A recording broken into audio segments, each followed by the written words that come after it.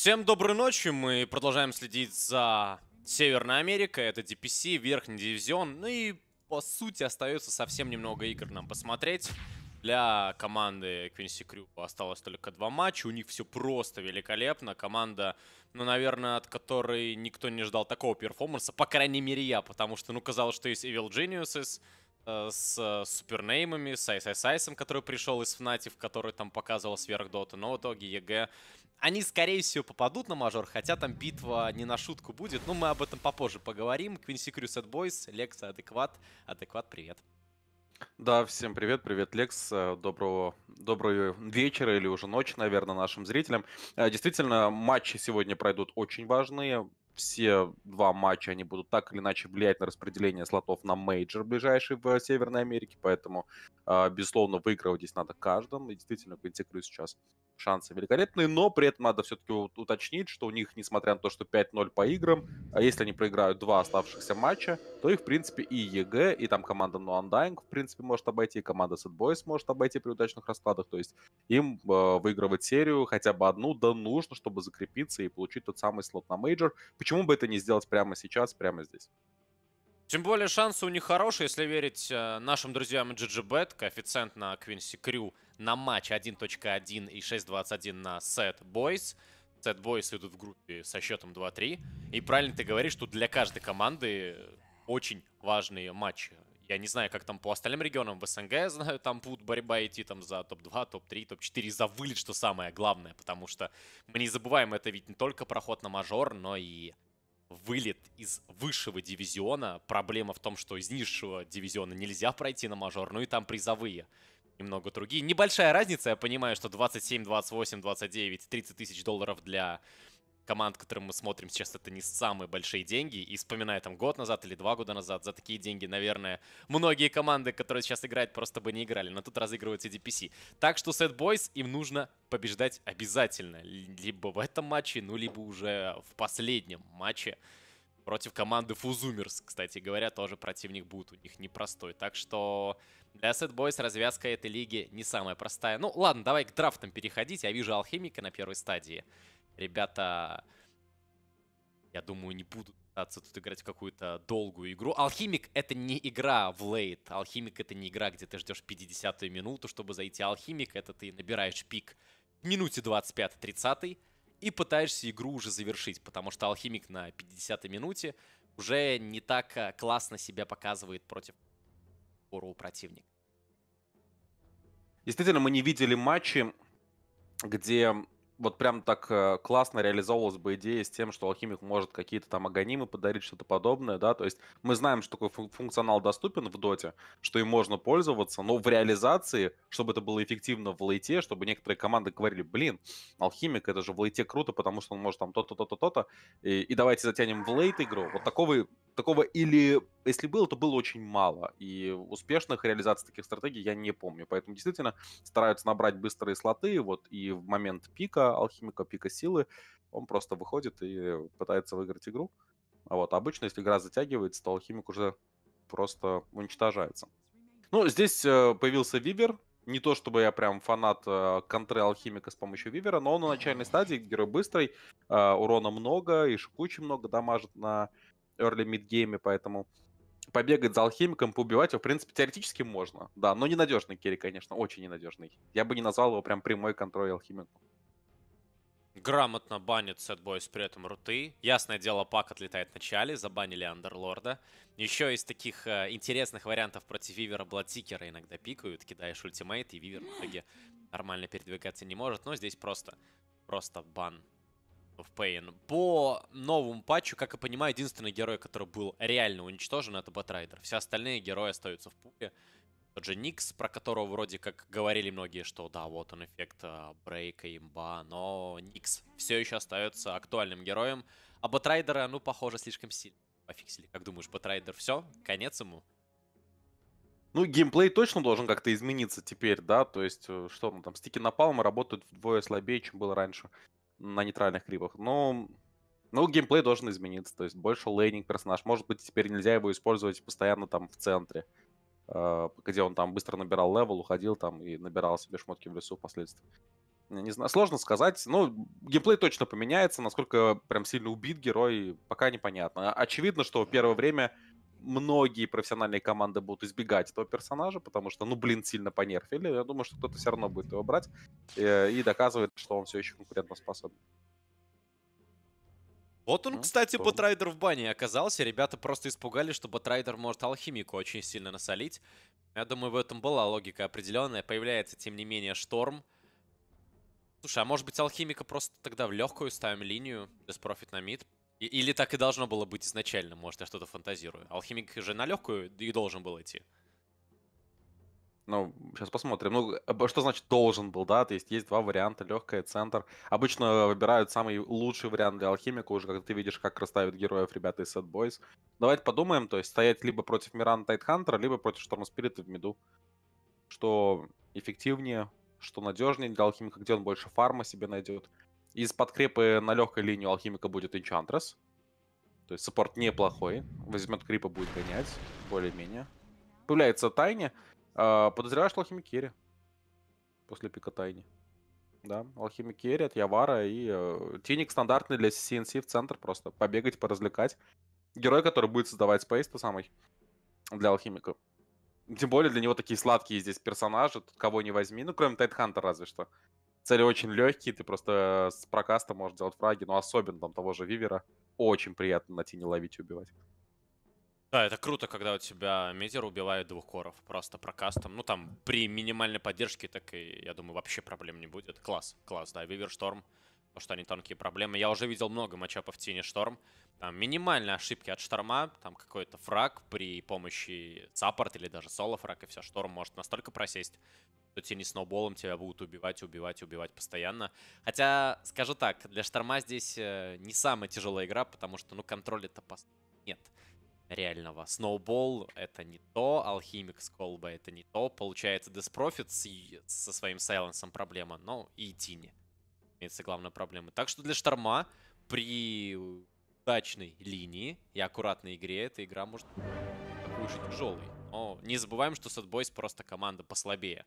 Это такой важный момент. Ну и фактор алхимика. Если алхимика не загнобить, если не помешать ему в будущем фармить лес, то потом этот товарищ выходит, как ни крути, с фармом там с полтора-два твоего carry. И будет тяжело. Ну, давайте смотреть. Сетбой за Radiant. Миссикрю за Дайер. Побежал Туск с Вардом. Там Деспрофит идет также на сложную. Тут никаких фокусов, алхимик на легкую. Болтным закупом. У ребят из Set Boys и Smoke ВД его активирует. И можно попытаться пойти сделать фраг. Есть каска, есть стрела. Можно прокачать гаш. Любой герой, который подставляется, умирает. Там тут... Я даже думаю, если он сноубол как-то нажмет, навряд ли это ему поможет. Ну, пока у них неплохая позиция, но они здесь, понимаете, 4 в 5 будут драться. Тини с тригрэбом, каска, стрела, и это фраг для Вивера. 1-0. Начинается бой красиво. Ну, очевидно, так э, в другую сторону Квин смотрел в этот момент. Он прям вообще не среагировал, хотя увидел, э, мог увидеть персонажа, там, я не знаю, за 2 секунды до своей смерти, да.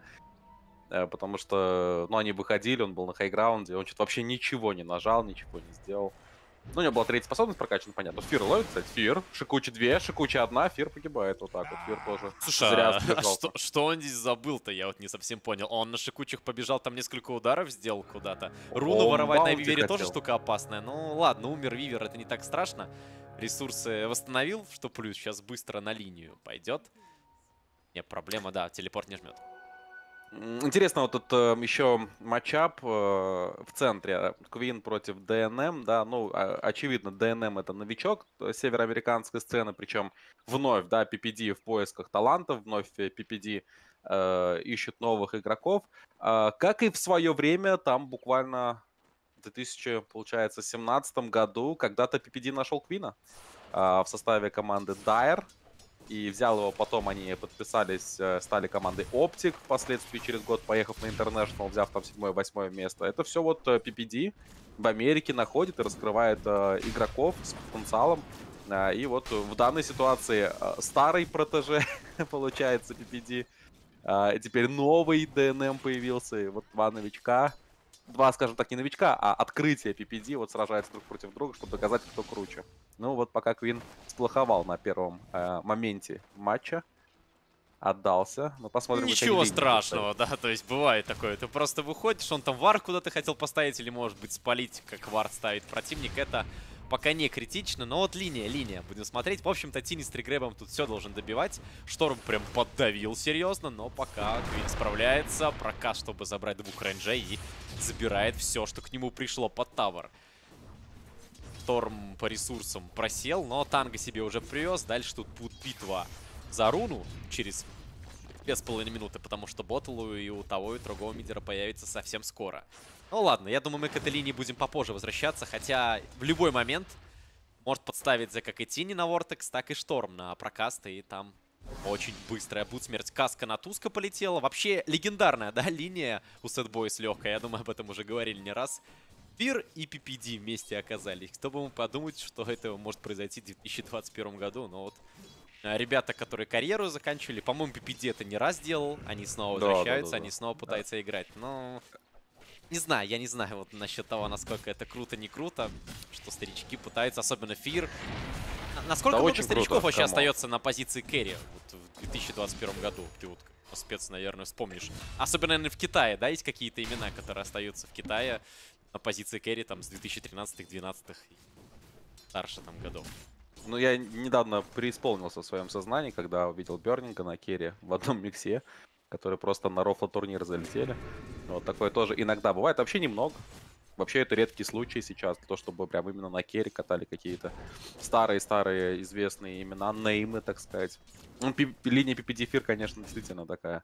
Для Америки так это точно линия, которую будут смотреть, я не знаю, 80% всех зрителей, я уверен, будут приходить просто на матчи Sad Boys, для того, чтобы вот просто поставить камеру на PPD эфир, вот на эту линию, и просто смотреть, как они будут действовать. Потому что опыта у этих игроков хоть отбавляй. Скилла, ну, понятно, что, может быть, стало поменьше, чем в лучшие годы, там, у того же Фира и PPD, но все равно что-то помнят, а руки-то помнят. Ну и постараются тут, тут как-то наиграть себе победу на линии. Ну, причем, ладно, если Лелис, наверное, мы в старички записывать не будем, то МСС вот вполне себе такой тоже конкурентоспособный в плане древности, да, игрок. Э, тоже, в принципе, может еще многое рассказать и PPD, и Эфиру. Он, конечно, менее звездный с точки зрения именно завоеваний за свою карьеру, вот, э, но все равно олдовый, олдовый, способный, талантливый. Ну и что у нас за 3 минуты 30 секунд произошло? Шторм ушел на базу. После схватки с Тини, Тини там просто реген был дополнительно, он восстановился. А вот Шторм ушел, ну, чуть-чуть крипов потерял. Наверное, одну пачку белым пропустить. Не критично, сейчас будут руны, а вот если здесь еще идти не повезет, Тини может просто дать Avalanche. Тини подходит, он готов здесь драться. И руна, ах, спамнится ускорение, не повезло Шторму. С этой руной тут можно и убивать. Ускорение нажал, побежал, там тоснул под тавер этого Шторма легко. Пришел Туск, ну, руну в любом случае ребята контролили, это несомненно. Мирана погибает на топе, до этого была смертный Энчантрес, Алхимик без хп остается. Но к нему, кто к нему, ничего не приезжает, да? Соларинг только, он улетает на базу. Тени в центре, на шторм спирита, то Сноу. Подходит МСС, точнее возвращается в центральный коридор. ДНМ понимает, что нужно сражаться до конца. Вариантов на эскейп у него нет, он погибает, впивается. Квин хорошо разыграли этот момент. И, и на топе классно все сделали, потому что они воспользовались отсутствием э, одного героя. Там, да, временно, пока они друг от друга оторвались, Тедхантер э, и Мирана смогли сделать убийство. В центре разыграли этот кейс, то есть прям круто, так на нюансах, Квинсеклю и там, и там преуспели, так что большие молодцы. Да, Алхимик там какое-то время не пофармил, отбегал назад, но э, линию он точно не проиграл. А по нетфорсу, ну, сейчас под Exit Spray, вот под первую пассивку уходит в лес, делает себе стак. Мы знаем, Алхимик свой наберет всегда. Снизу драком. Ну, будет ли размен? Туск закатывается, но это уже суицидный закат, потому что Маледикт висит, хотя стики нет никак не выжить. Разменяли саппортами. Death Prophet идет дальше. Вивер кучи скоро появится. Можно и повоевать немного. Нужно быть аккуратнее. Там все же Swarm плюс Siphon в 2. С невидимости выйдет Вивер и будет неприятная новость. Тут Сифоном успевает Death Prophet нажать по Виверу. В Вивер отдает частично своего хп. Но у него raindrop. Magic Wand, поэтому никаких проблем. ВД сюда приходит еще с Healing Salve. Вивер восполняет себе полностью хп. В общем, пока не такое уж плохое начало для Sadboys. Не считая проблемы на центре. И эта проблема достаточно серьезная, потому что Тини, он ведь герой, который не пойдет фармить там 20 минут. Он сейчас будет бегать по карте и убивать. Ему даже этот Blink Dagger не обязательно получать, что просто выходить с третьим эвеланчем, выдавать прокаст. Но об этом мы на стадии драфта говорили. Контроль руны. Руна не спавнится, Мирана получает прокаст и умирает. Тригрэбом просто выкидывает дерево в последний момент Тини. Получает для себя второй фраг. Руна контролируется, это реген. Шторма. Идет Туск. Ничего не сделать здесь. Шторм будет с регеном. С ним можно пойти лес пофармить. Очень важный такой макромомент. Э, пытается как-то вот Кату сохранить Квин сейчас. У нее осталось очень мало здоровья, но тем не менее Ката жива. И Enchantress смещалась своим крипом. Ой, а что тут у нас ребята из Sadboys не забрали одну баунти? Ну вот, все старания снизу, которые были, они там руну вот, да, как раз в войне забирали. У них было 2 на 1, все было прекрасно. Но вот четвертая руна, последняя оставшаяся, почему-то из Sadboys не законтролили, так это все под Алхимика. Алхимик, правда, на топе умирает. Странно, что, ему, что он конечно, вернулся на линию, да? Казалось бы, в лесу он чувствует себя комфортно, а на линии вот как-то тяжеловато ему уже. Который раз я вижу, как он приходит, либо он умирает, как сейчас, либо у него мало хп остается. На центре атака на шторма. Летит торнадо. Вот дикокрыло, шторм улетает на всю ману. Надо ботлом немножко отпиваться. Отпивается ботлом, живет на 100 хп, но это снова на базу. Надо топать. Снова теряет время, снова теряет очень много опыта на линии. Что там по уровню? Ну да, Тени седьмой, Шторм берет шестой. Разница в один уровень. Мирана душит вот. Вот это уже хорошо. Алхимик на линии тяжело фармить. Идти надо в лесу ему мешать. Но Мирана делает, ворует больших крипов. Красота. Снейкинг прям разваливает от души. А, лучше только заблочить еще несколько спаунов. Но пока, пока до этого руки не доходят. Снизу тоже какой-то экшен намечается. ТП ДНМ сделал именно на нижнюю линию. Поставили центрик и ну, как-то все прочитали ребята из Квинси Крю, спокойно оттягивается, еще и пачка крипов подпушила линию, и по итогу там ничего не получится. Квин у нас находится Снейкинга в лесу, пытается помочь как раз Явару, чтобы тут спокойно пофармил Снейкинг. Лип. А, понимает, что Тини все потратил, да, нет э, спылов, чтобы сбить ТП. Так что не получится здесь убить наглую Мирану, но прогнать получилось, это самое важное. Хозяйствует Му на верхней линии, у него есть Hood of Defiance. Кто-то должен приходить на топ, постоянно эту вышку защищать. Вот так просто тавар отдавать не хочется. Вот Алхимика, думаю, из тех же соображений на топ и приходил. Чтобы кинуть эксит спрей, как-то не дать запушить быстро вышку сопернику. Погиб. Но тавар-то стоит, мы видим, да. И тот самый маневр, который зачастую делают э, большинство команд, когда играет за Reddit, ты пытаешься верхнюю вышку конкретно сломать, пока не осуществляется даже с таким толстым Тайтхантером. Но пока, опять-таки, рановато говорить, 9 минута, все еще может произойти. 5-4, в целом преимущество по экономике мы видим Квинти Крю нет, как это должно быть, по идее, с э, игрой, где есть Алхимик. Алхимик сам не сильно отрывается по фарму. Э, так что у Судбойс э, больших трудностей пока нет. Опасно, О. бегает Квин, стрела мимо. Квин. И попала стрела, да. Была бы стрела в цель, то все было бы круто. Тини на фейзах, с топе тоже. А вот на топе должен умирать Tidehunter. Ревейджа у него нет. Snowball срабатывает. Так, Тим, шарды. Подходит сюда Enchantress. Тут еще и Гарпия летает. И Death Prophet рядом оказывается. Не знаю, будет ли сейчас Death Prophet идти своей команды пушить, потому что экзорцизм-то можно нажимать и прямо идти вгрызаться в башню. Но пока Тини врывается на Мирану, Мирана уходит на своем последнем липе. Разворачивается, это, возможно, ошибка. Снейкинг, Тек Тим, замедление подходит Энчантрес. Дополнительное замедление от Энчанта. Вешается урна и фраг готов на Миране. Гарпия, по-моему, просто плюнула им фраг для Инчи. Экзорцизм активировал на миде. Ну, вот это мув даже поинтереснее. Могли пойти боковую линию попушить, но это не так круто, как забрать мид.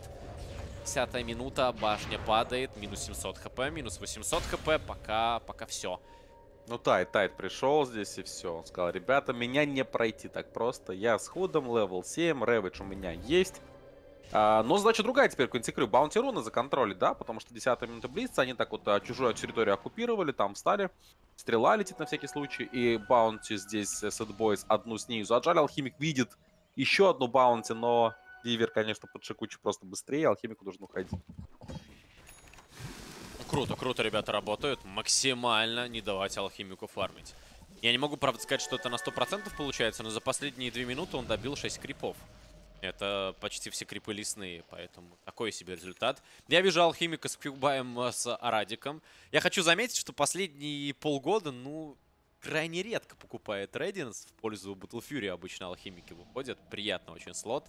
И по ману регену, и по урону. И собирается, что самое крутое, намного проще. Лайморчик взял, персик взял, у тебя и статы какие-то, ты фармишь быстрее. А так пока алхимик бегает с 2к нетворса, 2к дополнительных денег.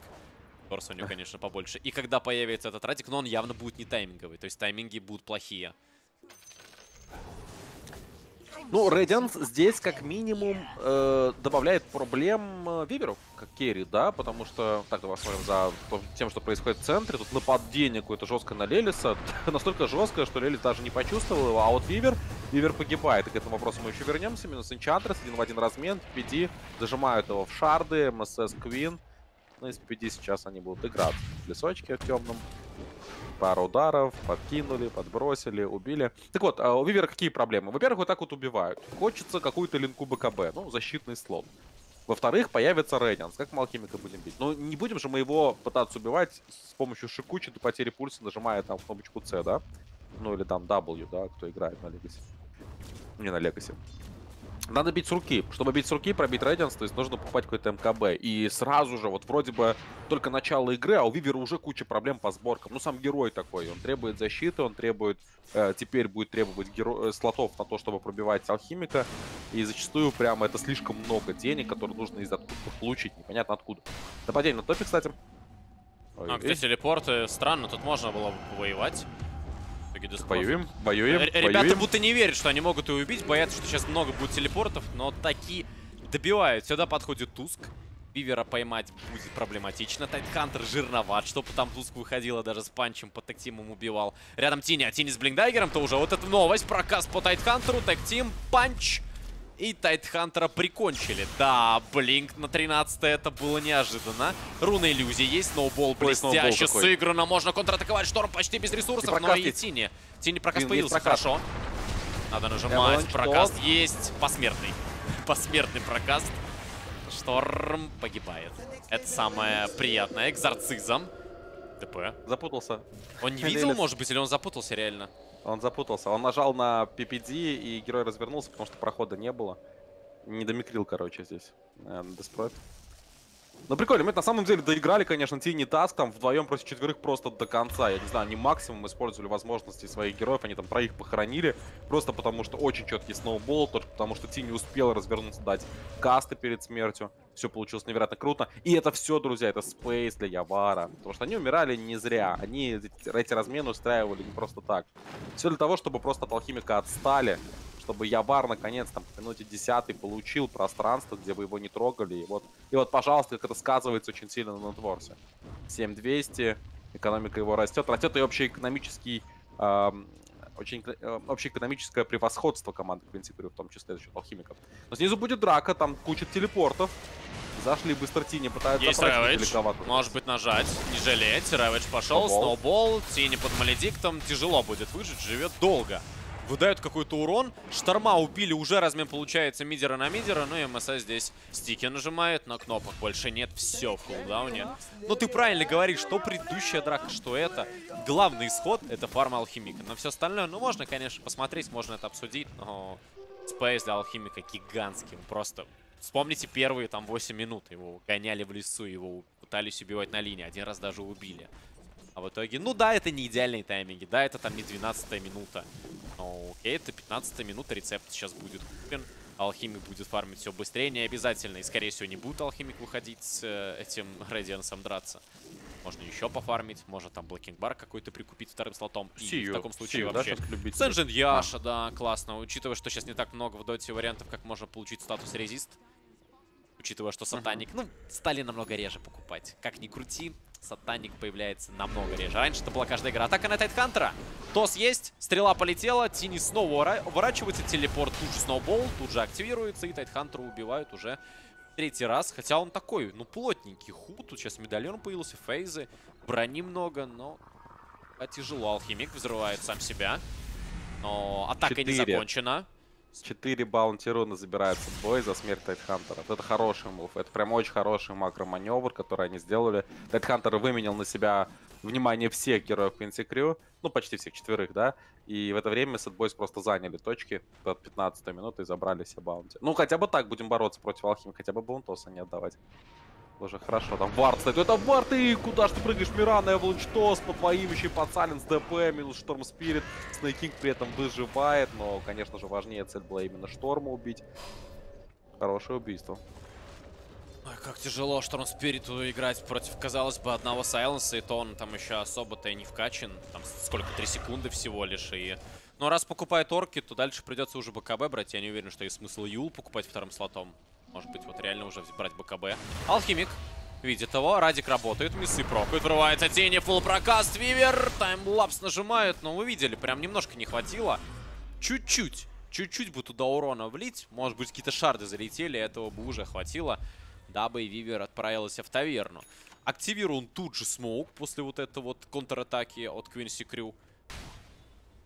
Могут... Доктор, но Мунлайт заканчивает. Дешевый фраг. Вич Доктор себя может просто продать. Доктор, да, продает себя, но при этом спасает Вивера. По крайней мере, пока он жив, но Фир... Ой, не понимает, насколько тут все опасно. Прячется за елочкой, его находят. Нет ультимейта, Фир... Или он находит? Да, да, хороший вопрос. Блинк. И все, уже не нажать. Нужна помощь команды. Команда подходит. Тень жирноват. 2 КХП почти. Там Очень есть тяжело реведж. с ним Там работать. есть реведж. Хочется ли драться так под реведж? Мы идет вперед, но команда вражеская вся тут. Это прекрасно понимает. Алхимик получает импетусы, кстати, такие болезненные. Вот из VG, и на этот момент заканчивается. Э, проблема Шторм Спирит, как и проблема Вивера, да, вот ты говорил о том, что вроде не так много контроля на него, но на самом деле тут даже одного из этих контролей хватает. То есть ты в драке допускаешь ошибку, получаешь либо колбу, либо прокаст тини, либо сайленс ДП одного из этого, или сноубол даже, да, с распанчем, и ты уже от этого просто не уходишь, потому что у тебя особой выживаемости нет, э, немножко урона долетит в эти касты, в эти контроли, и ДНМ умрет. И то же самое у Вивера. И правильно ты говоришь, то есть нужны артефакты там вторым слотом, чуть ли не БКБшки сразу, тому и другому. Ну, хочется ведь айтемов и на урон взять, иначе просто не пробьют. И это дилемма, и это прям темп, который нереально нужно круто поддерживать в плане появления шмоток. И не получается сделать ни у ДНМ на самом деле, ни у Фира, потому что когда они самые лучшие, у них очень много смертей. И быть конкурентно способными сейчас очень трудно. Хорошо, у Тайтхантера есть Тревидж, мы под них можем подраться. И то не факт, что это обеспечит нам выигранную драку. Вообще не факт. Снова колба от алхимика в землю, закидывается, точнее, самого в себя. А Шторм купил Оркид. Ну, давай смотреть. Вот он Оркид на 19. Шторм полетел, брыв на Тини. Рэвэдж попадает под двум героем. Атака на Тини только от Шторма и урона очень мало. Его нет. не хватает. Ну, Мирану уходит. Неужели вообще никто не умрет? Но МСС ему прям очень больно. Колба полетела Вивер. Вивер максимально далеко отходит. Из профит Сайленсом. Silence пока не закидывается. Maledict на Алхимике. Алхимик ультимейт подключает. Только сейчас погибает таки Тини. Ну и Мирана продолжает бегать в Moonlight е со своей команды. Там Рошан воюет с Death Prophet. Еще умудряется забашить несколько раз. И плохо добили Тини. Не сразу, но размен 1-0. Выбили у противника экзорцизм. Но потратили Ravage, правда. Ну ладно, это, это, в общем, логичный исход. Отдали Ravage, убили Тини, хорошо.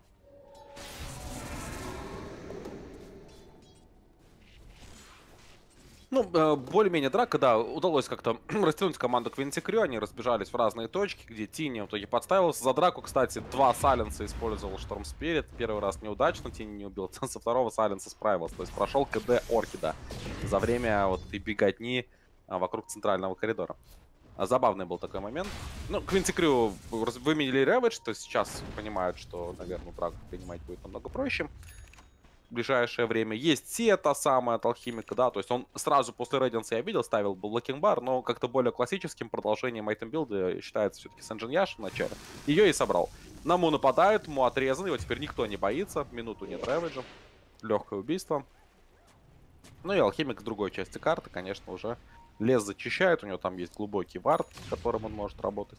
А его команда, конечно, в поисках следующих каких-то жертв. Но, правда, они на И лоу-граунде. Что-то может быть на руне. Руна, правда, уже пропадает. МСС не успевает. Тини обремном взрывается. Блинк не должен успевать. Спирит Вессел на Тини. Подходит ВД. Маледиктом попадет, Эзвард нажмет. Тут любого можно убивать. Сайленс на Туска. И Туска вынуждены ребята продать. Минус Тутик. Как-то пока Квинси Крю очень аккуратно играют. Алхимик, сказать, что активничает. Заметьте, 17 фрагов у команды Квинси Крю. Алхимик сделал 2. Ассистом и собственным убийством, ну, прям совсем не густо в процентном соотношении. Притом все остальные герои, ну, участвуют. Там и Инча, и Тини, ну, все-все, что я буду перечислять. Все активны. Ну, так и должно быть, наверное. Там. Потом, в какой-то момент времени, Алхимик может сделать рэмбэдж, придя в драку. Когда наберет себе свои слоты. БКБ появится. После БКБ можно Эбисал смело тарить в этой игре. И, в принципе, это будет тот самый пик сила Алхимика, с которым нужно будет уже идти и все драки принимать. Уже с участием Алхимика. Уже при непосредственном его движении вперед, при непосредственном э, колом от него даже, да, в какой-то степени он должен будет игру на себя взять. Так, но Boys все еще проявляют признаки активности, то есть они, ну, мы играем с позиции силы против Алхимика, мы, во всяком случае, стараемся это делать, занимаем какие-то глубокие э, позы, и это вот сейчас треугольник вражеский, тут никого нет. Аккуратничаю, действительно, Квинси Крю. Стараются по одному не лезть лишний раз. Собирают информацию. Но сейчас, правда, Таск может подставиться. Хотя телепорт на Некрономикона. Интересно, Некрономикон первым слотом от МСС. Внезапно ДПС определяет. Ну, Рэвидж по троим, господа. Что это за мув, Квинси Какой-то легкий Рэвидж. А парни просто решили подойти все вместе к Рэвиджу. Не, ну, наверное, можно еще несколько раз так поошибаться. Может быть, и раз пять, и раз шесть. Не, маневр прикольный, да, то есть сама идея, вот Таск, который купил Некрономиконы, чтобы на него, на эти Некрономиконы летела ДП, и она такая, знаешь, была супер мобильная. Это как Слишак с, с травелами, да, который везде преуспевает, такая же ДП отпушивает, там что-то прилетает драку. Но только они как-то все это скомбинировали прям под Тайтхантера, не имея БКБшек, и не задоджили там каким-то идеальным сноуболом. Ну, действительно, право наших пока есть. Но для сетбойста прям то, что было нужно. Они искали безоговорочно выигранного файта, они его получили. Сейчас, правда, будет ответка. Синий ДД очень серьезно, получил орки подкат. Ходит, шторма, хватит ли контроля на него, есть панч и прямо в полете его. Алхимик уничтожает, Мирана на липах должна уходить, там через хайграунд убегать вниз. Ну, вот. минус два за Блэкенбара Алхимика, прекрасно. Можно идти тут же на Рошана под экзорцизмом вместе со спреем. Минус брони хватит прям с запасом, чтобы этого Рошана добить. Вот то, о чем я говорил, да? Один контроль на одного из core ов, и этого хватает. Вивер что получил? Прокаст Тини? Окей, до свидания. Что получил Storm Spirit? Snowball и Walrus Punch. До свидания. Два керри, два контроля, два героя, которые просто уничтожили. Фактически. И пока не будет шмоток на защиту, это такая участь Шторм Спирита и Вивера. А, а шмоток на защиту нет Сайленсу одного, я имею в виду Шторм Спирита. Мози, кстати, хорошо ушел. А, э, а у Вивер, ну, Вивер даже не покупает себе слоты. То есть Вивер все, что хочет взять себе, это жир Скади. То есть он не берет себе ни линку, ни БКБ. И для него любой Сайленс даст профит. Ну, все, все самые нюки, я не буду повторяться, они все еще будут максимально против Вивера эффективны. Просто максимально. Даже колбочка алхимика, которую ты можешь драки получить, он тебя просто не оставит. Благо, колбы в этот раз нет, он закинул только что сам себя, потому что Сайленс был АДП, если колба сейчас появилась, этого Вивера могли уничтожить. Шторм полетел, пытается добить инчу. Не так уж это и просто, светлячки работают, стики активированы. Панчи на развороте еще и пытаются убить Сфира. Ой, Фир вроде как успел нажать кнопки, уходит. Но... МСС не стаймил, после Валрос Панча сноубол не дал, ну как так-то? Это же должен был быть максимальный контроль продолжительный, чтобы не, не дал Time Lapse Вивер. А в итоге Time Lapse был использован и фраг не сделал. Ну ладно, ладно, это не такая большая проблема. Да, в этот раз Фиру повезло. Они даже хотят убить ДП. ДП, стики есть, Ravage давать неохота. Ну и ему не придется. Жук висит, Вивер видит, где ДП, и Шику вместе со Штормом добивают. 9000 перевес за Quincy Crew, Алхимик Blink Dagger, дальше Cuirass, уровень 18, уже третий ультимейт. Очень такой важный момент. Ну а Туск в ожидании третьих некров. Можно будет палить героев невидимости. Тут их, знаете, может быть в какой-то момент 5. Что, Ravage остается? Не знаю, насколько тут драться хотят ребята. Quincy Crew выбрали просто удобно для себя позицию. Если кто-то вдруг зашел бы поставить какие-то варды, тут же бы приняли. Героя нажимает smoke. Алхимик с Аегисом еще целых вивер, 3 минуты. Вивер, Шикучи, Вивер, Шикучи, Вивер. Нет, нет, нет, нет, тут никак. Минус э, Вивер. Для него это четвертая смерть. И, как адекват уже отметил, никаких артефактов для того, чтобы там КБ нажать. Ну, Юл, ладно, Юл на Вивере не купишь. Короче, только Скади будет у него такой артефакт для выживания. Больше Чир, да. Ну, тут, тут прям, знаешь, даже уже не Скади хочется, а вот Сатаник Тараску тогда уж. Если уж мы говорим про жир, да, про то, чтобы тебя э, не лишили всего здоровья за контроль. Тогда это вот такие могущественные слоты, которые дают много силы, много именно хп. Ну, Скади отчасти, конечно, выполняет э, эту функцию, но только отчасти. Полностью тебе все здоровье не даст. Необходимое для того, чтобы пережить атаку. Поэтому, да, ну вот, э, увидели, победили. Тут, конечно, еще и тайминги такие классные получились. Хороший смог от Квинси Крю, плюс Варда гениальный, который стоит просто. Они видели все телодвижения Вивера. Там еще на самом деле и Сентрик стоял. То есть Вивер был как на ладони, шансов у него просто не было. Поэтому все удачно получилось. Тени забирает ДД, за это его пытается ему перехватить. Квин в бутылку ДД засунул и уйти. БКБ собирает ДП, БКБ, у Алхимика есть БКБ, у Тени будет БКБ. Просто побольше блокинг-баров, игнорируем Ravage а, стрелы какие-то, каски, чтобы комфортно в драке быть. Ну да. А, а, а Radiant игнорирует Black King Bar а. Ну, их дело, конечно. Дело, ну. Посмотрим, как они в будущих драках будут себя просто чувствовать, как они будут передвигаться. Вторая Некра уже, у Tusk. Да, build такой. Слушай, мне тоже интересно. Мне тоже интересно, что они будут делать вот в драках 5 на 5 без БКБшек. Потому что я вижу, даже Шторм не собирается после Silence а БКБ покупать. То есть это стандартный выход там Bloodstone какой-то. Вивер купит Skadi, окей, допустим, прикинем, что будут какие-то Bloodstone ы, будут Skadi. Вот драка начнется. Мне просто жутко интересно, как вот они в драке собираются кнопки нажимать. Как у них получится вот там как-то раскатить соперника, да, размонтить. Тини врывается, вот это Шторм. Это был Шторм. О, какой геймплей, да, еще можно ожидать? Ну, Тут по-другому Ну никак. да. Мирана успевает уйти на центре Тайдхантера видит. Тайдхантер успевает последний момент нажать Blink. Скрыться. Алхимик. Ты видел, что YawaR делал? Я, YawaR понимал, что Тайдхантер сейчас упрыгнет, и прыгал, получается, дальше.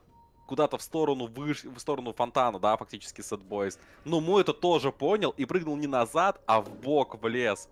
То есть Квин его перехитрить не смог, ему здесь, ну, чуть, чуть лучше прогадал ситуацию. Прыг на Мирану. Мирана без Leap ов ее убивает. Вивер в Silence е уже нет, но под dust ами. Тусик может shard ами классно проход перекрыть. Шарды пошли. Сноубол докатывается! Казалось, что Вивер быстрее, но нет. Шарик Туска дошел до Вивера. И Вивер в таверне. Пятый раз за карту. Алхимик уже вот приближается потихонечку к базе. Но не сейчас. Не сейчас, чуть попозже. Надо забрать еще Т2 на миде. Башня поважнее. Кираса у Алхимика. Можно толкать мид. Дальше Эпистол. Ну, классика, классика. В этом случае тут уже Торм даже с Блэкинг Баром будет умирать просто от Эбисела. Ну и в будущем Баши. Скорость атаки у Алхимика запредельная. Квикерин Чарм выпадает, можно отдать ДП. Что, собственно, и делается. Ну, ну, наверное, тут уже тяжело что-то делать. Шансы какие-то есть, но против такого Алхимика... Только если его убьют там за все станы, и тогда драка реально. Шанс, шансы у Sadboys будут. В остальном очень я сомневаюсь. Ну, разок убили Алхимика, но это был laning, мы помним. Только на laning е его забирали. После этого неподъемным оставался для Варлиса, для вражеской команды. Залетели быстро, убили Мирану, еще остается колба, ДНМ, вот только Ball Lightning ом куда-то в сторону, в сторону tier-2 вышки. Развели на БКБ Алхимика, кстати. Малой крови даже развели, только смертью Мирана. Все равно приятного не очень много. Ситуация критическая такая. Т- Тяжела в плане камбэка, в плане понимания того, что делать вообще. Вот, но пока не сдаются, самое главное. Нравится мне то, что Явар, я понаблюдал за ним какое-то время, он прям, ну, знаешь, микрит до последнего, то есть чувствует, что игра, конечно, идет хорошо, но при этом вот от себя делает максимум. Так, снизу на палец, один задержался, погиб. То есть а, в чем это проявляется? так? Атака, ну, понятно, тут фир. Без шансов. То есть просто без шансов. Это скади, конечно, но я не знаю, я не одобряю. Вот, ам, м, нажимал бамбрейс, вот у него сейчас появились паучьи лапки, до этого был бамбрейс. Он все время бамбрейс перед- переключал там на интеллект, чтобы дать эксит спрей. Ну ты понял, такие вещи, да? То есть вот доигрывал до конца как, как каждый момент с фармом, каждый момент драки. Сейчас у него, посмотрим, будет пользоваться паучьими лапками. Так, атака на му. Явар. Пелец, просветили. Ой, Ой. А, погоди, а просветка сбросилась, что ли? Как-то ощущение было? видимо, да, видимо. Ему просто убежал в невидимость. Прикольно. Надо, уж- надо уже гем покупать сегодня до сих пор с таким перевесом. Да, третий Ну, Некромикона. но не, не всегда не будут доступны, не всегда будут. Ускутини с Блэкинбаром получает стрелу. И... и- БКБ? Парни, Ну, команды парни, нет, убивает Парни. Шторма, Парни. очень жирный, Парни. 26 брони. Нет, добили. нет, нет, нет, но будут мстить. Будут мстить. Сейчас Мирану будут убивать. Мирана в Сайленсе. Сайленс заканчивается, но в стане оказывается от Сноубола. Неплохо, конечно. Все же те не убили. Это хорошие деньги, там высокий уровень. Опа, Тайтхантер. Понял, что лучше уйти. То там Рэйдж вроде был, ну как-то опасно было. Алхимик бежит в спину с э, ультимейтом, с колба, если что. Weaver. И заканчивается, уходит на безопасное расстояние. Ну, а Алхимия говорит, в общем, можно просто и попушить. Катапульта подъезжает. Не, не вижу никакого пуша, ребята решили пока не спешить. Хотя могли, могли. Алхимик мог нажать ультимейт. Могли бы башню без проблем погрызть. Без шторма нападение от Sadboys. Просто нереально. 19 тысяч перевес. Много денег в Алхимике. Алхимик почти все готов. Свив Блинк. Эбиссол... Да, этот Эбиссол девать тоже вопрос хороший. Фейзы, ну понятно, Фейзы можно продать. Купить Аганим Шарт, кстати, тоже прикольная вещь. Ну, отчасти функции Эбисола перекрывают возможности блинка. Ну, с точки зрения маневренности, да, если тебе в драке нужно дойти до соперника. На первых парах покупаешь блинк, через колбочку прыгаешь и станешь. Потом через Эбисол можно, можно а, поменять будет. Ну, блин, конечно, сейчас менять уже не будет, потому что будет Аркейн, блин. Они даже не, не Аркейн, Свив, да, будет покупать себе. Свив. Свив, конечно, конечно. Мгм. Боится. Блинк. Ну, В этом плане Блинк, конечно, хорош. До появления вот этих супер блинкдаггеров мы вообще Блинки перестали видеть на коров. Ну, потому что проще купить Эбиссел.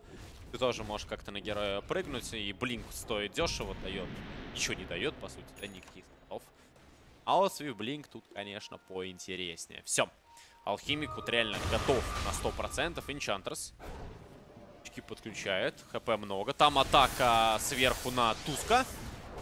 Да, здесь заканчивается. Некра убивает шторм. Чуть-чуть бы можно было его добить. Хотя еще не вечер. Где там алхимик? Алхимик приближается, врывается на Миран. Он дешево, можно еще. Побежал алхимик, просто бешеный. МС-730 на Спайдер Лекс. Выходит в спину алхимик с плохим Не нажимает, пока получает реведж. Но Явар настолько же ему жирный, что даже под станами они не могут его убить. Вообще не страдает алхимик. Колба очередная. Ну и благо, что умирают пока только саппорты. Хотя, смотрю, принимают от Вивера.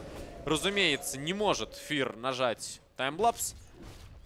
Как-то выиграть время. Но нет, алхимик неубиваемый. Вы сами прекрасно видели. Под станы вроде как поймали. А урона толком-то и нет. Нарцизм еще работает, можно ломать базу. Глиф. Глиф можно нажать в ответ, засейвить крипов, если вот прям очень хочется. Никто глиф не жмет, Тини врывается так глубоко, дает тос на Дайтхантера, бояться нечего, он все равно без Раваги. Пошел, пошел, Явар, пить, пить, ручками, работаем, работаем. Байбек от Пич Доктора. Наглого алхимика, снять БКБшки-то нет. Но паучьи лапки есть, и стрела не попадает от Снейк Кинга. Тини второй волной. Я с тобой, Тайтхантер, не закончил, говорит Квин. И спокойно добирает. А вот после этого убийства уже запушить-то, конечно, бараки хочется. Не знаю, байбек от Тайтхантера можно, в принципе, использовать. Ну, не ясно. Тут вот вроде еще и деремся, вроде и хотим дефить, с другой стороны уже GG хочется написать. В итоге отдают бараки, да, отойдут Quincy Crew. Молодцы Quincy Crew, вот э, соперник даже, вот вроде бы, да, осталась одна игра из двух, где нужно выиграть, и ты поедешь на major. Ну, вроде не так, чтобы, да, предрасполагать тому, чтобы выкладываться на 100% в каждой карте. Но стараются. Для них скорее больше принципиальный матч, потому что я думаю, что помимо того, что обыграть EG, есть еще такая, знаешь, важная задача обыграть чемпионов мира. Fear'а, PPD. То есть каждая из команд в этом регионе хочется этот стак, ну такой наглый стак старичков, которые тыщу раз заканчивали карьеры, просто взять и, и обыграть хочется. Вот. И, ну и многим командам это уже удавалось сделать. Напомню, статистика 2-3 у Sadboys, я там посчитал, у них на самом деле нет шансов поехать на major. Они, они только борются за то, чтобы остаться в линии. Вот и Мирано Сален с лоу-граунда. Дальше колбочка летит, Мо получает. Равиджа нет, да. И Ничего не может Хантер сделать, не может как-то остановить всю эту атаку. Неплохие каски летают. Ведь Доктор, правда, не может поставить никакой дезвард. ВД убивают без байбека, Вивер также без байбека. Он просто закупился на все. Да давненько уже Фир ничего не покупал после Скадиуни, деньги не появляются и вовсе. Мирана убегает на липах, но тут тяжело. Тяжело как-то драться. Рэвэдж. неплохо, но по урону, что Алхимик почти еще немножко и добьют. Сноубол. он жив, это Сноубол Сноубол. полетел на фонтан, Алхимик, ну добьют, добьют его. Но ценой чего, да, как говорится, ценой чего? Ценой всей команды Sad Boys остается один шторм после байбека, выкупается Алхимик. И полетел, полетел. Тревела, правда, не купить. Все, шторм заканчивается. Ну, разобрались тут без алхимика во второй части драки. Шикарно был Рэвидж, но уже постфактум, где этот Рэвидж бы уже мало чем помог. Вот, знаешь, э, возвращаясь к драфтам, да, ну вот, вот, вот поэтому мне не нравится Вивер как контрпик алхимику. Ну вот поэтому не нравится. Ну просто потому что, ну а как играть доту? Контрят, саленсят, станет, ну прям неприятно. 3.8.9 об этом и говорить. Не могу сказать, что Фир действовал как-то ужасно, да, то есть он выполнял свои базовые функции Вивера. Бегал, старался держать позиционку. Ну а какую позиционку ты будешь э, держать, если тебя любой стан казнит просто? Э, Вот. Что-нибудь понадежнее хотелось, наверное, увидеть. Хотели сыграть быстро, там, прикольно, как-то Шторм, Weaver, побегать, Мирана, Witch Doctor. Не вышло, Quincy Crew были впереди. Ну, я даже не буду, ребят, за что винить. Алхимик появился. С Алхимиком всегда есть несколько героев в доте. Вот Алхимик, Tinker, Broodmother, Techies. По- Обстоятельства которых должны меняться, да? Против этих героев должен играть совершенно в другую доту. Ну и центральная линия, она, наверное, была решающей. Мы видели этого Tiny, который, ну, просто уничтожил-то Шторма. Не один, там, конечно, блестящая работа от MSS, он приходил на ганги, ну и после этого Tiny бегал, убивал. Ни одного Black King Bar а Sadboys не купили. Видели, да? То есть единственный escape -артефакт у команды Sadboys единственный, это Eul Мираны. Больше никто вообще не купил артефактов для того, чтобы как-то обороняться. Ну, Хута Тайтхантера я особо таким предметом считать не могу. 1-0 пока закономерная победа Квинси Крю, как и ожидалось. И в шаге они от попадания на мажор уже гарантированно. Мы ждем вторую карту и через минуток 10 вернемся в эфир.